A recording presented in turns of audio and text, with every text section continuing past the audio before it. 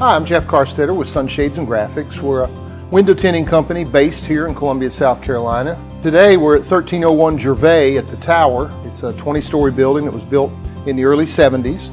It has single pane glass, so all these years they've fought the amount of heat that's coming in in the summer and the heat loss in the winter. We're putting uh, Vista Ambiance film on it, which is a low E film, which will keep the winter heat in and keep the summer heat out. We did a test on this building uh, beforehand and we determined that it will pay for itself in energy savings in 2.9 years. And of course after that, the owners of the building will enjoy more and more energy savings as the years go by.